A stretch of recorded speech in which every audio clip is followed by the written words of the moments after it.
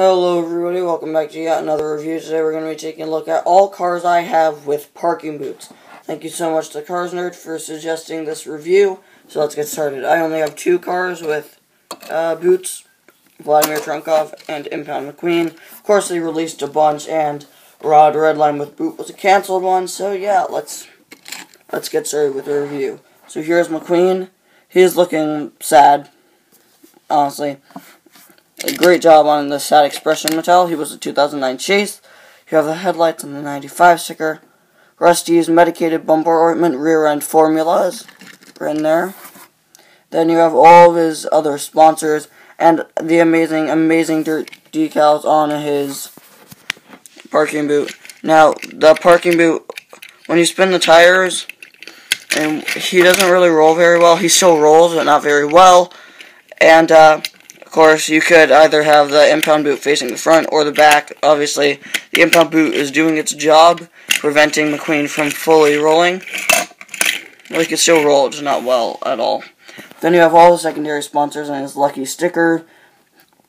Nitroid, Piston Cup, down there, uh, Clutch Aid, Retread, RPM, uh, not Ralph Carlo, Little Torquey Pistons, Leakless, Easy Auto, Gaskets, Gas Brand, Vitoline, No Stall, Octane, Mood Swings, Revolting, Piston Cup, and once again Nitroid. I already read it, I think, Nitroid and Piston Cup.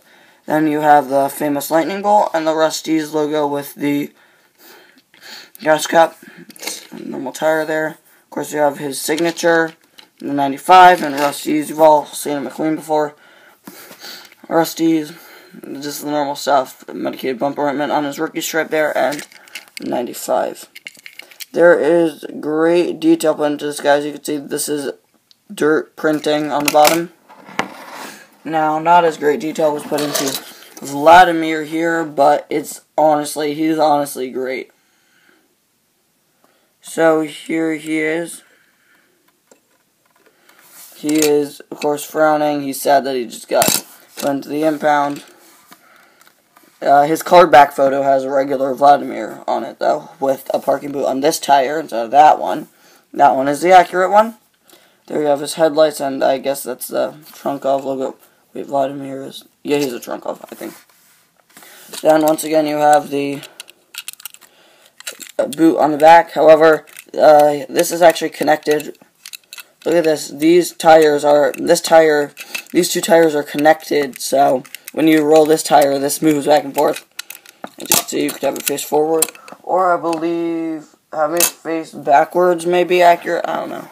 You have the uh, stripe here, and his now accurate tires, and the single headlight, not headlight, yeah, it's a headlight. On the back, you have 19-71, then S, M, and K, and this little uh, sticker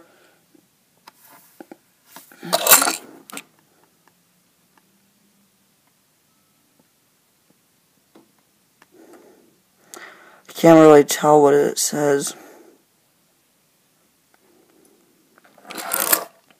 Let me know, guys, in the comments if you know what that uh, says. And he does have, I think that's a trailer hitch on the back and just the back lights.